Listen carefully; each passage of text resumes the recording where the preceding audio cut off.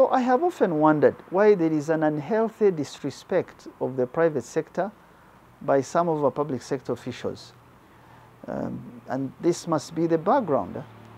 Because we don't think of building up a strong private sector because we don't always value them as partners. eh? I know this because it has been a struggle for our Exports Advisory Committee to convince a number of public sector players that we should announce, for example, and accompany the President on all trade missions where possible. The public sector finds this problematic. So universities, which are ivory towers of intellectuals and social progress, they do research, but many times they don't see the link with commercialization as long as they get good grants and they write reports. This is a very big disconnect in an economy. Our small gross domestic expenditure on research and development, which is about 0.1% of our GDP, in money terms, it's around 150 million dollars. That's the total R&D we do both public and private sector. This R&D, 47% goes to government, government institutions. 46% goes to higher education institutions like Makerere. In fact, I think Makerere gets about 30 billion shillings or some 9 million dollars annually for R&D the private sector consumes very little, only 4% of this total gross R&D for the country, only 4%. I assume this is partly why the World Economic Forum keeps ranking Uganda as uncompetitive in this space. The World Economic Forum puts Uganda as number 114 country out of 137 countries in the world in R&D. We are doing poor on many parameters that rank countries as competitive, and this deeply worries me. That's why I keep doing these teachings. eh.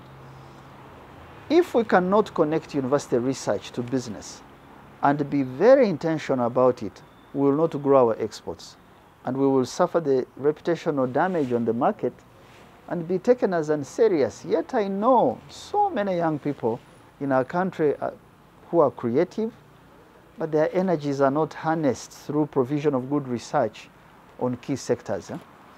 This is the reason I went to Makerere this week to make a case for this integrated thinking between companies and our universities. eh. R&D in our own businesses needs to be incentivized with tax rebates, with grants from government. It should be promoted to allow private sector contribution in this area to grow. Now, whether this is, it is whether it is basic research, applied research, or developmental research, it is time to connect our universities to our private sector. So I looked, when I was going to Makerere, I looked at the patents that the US filed in 2021 and what we filed at the same time, and I was a little embarrassed. eh. Now, people don't want us to rank ourselves against the US, but if you don't rank yourself against the best, what are you trying to do?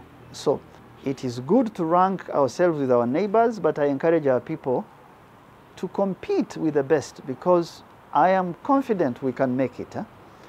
So I use the Americans and their market because the reason they are at the forefront of innovation in science, in medicine, in computing, even if they are under threat by rising nations in, in the East, China and others, the reason they are competitive and successful is the R&D at a company and government level.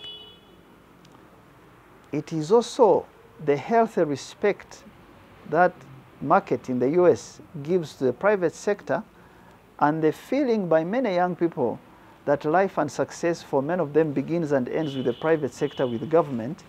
That's why research and coordination is very good. Many of you might know universities like Stanford incubate businesses before they you know, become mega businesses, all the ICT uh, businesses that I can speak of. So in 2021, America filed 337,000 patents, up from 182,000 a decade or so. Uganda, the applications we gave to, through the World Intellectual Property in 2018 were only 606. And this rose to 13 in 2020. Very small. Huh? Nigeria made 1,174.